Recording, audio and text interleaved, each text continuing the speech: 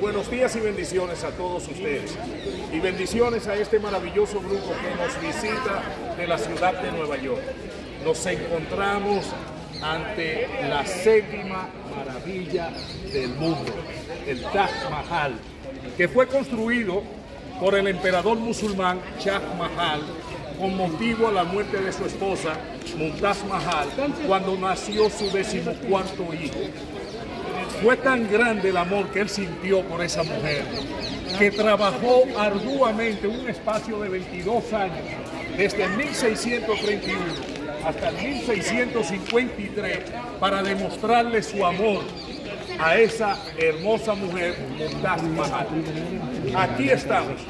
Estamos en un lugar que todo el mundo quisiera estar. Mire, yo me estoy pellizcando y creo que no soy yo, que es parte de un sueño.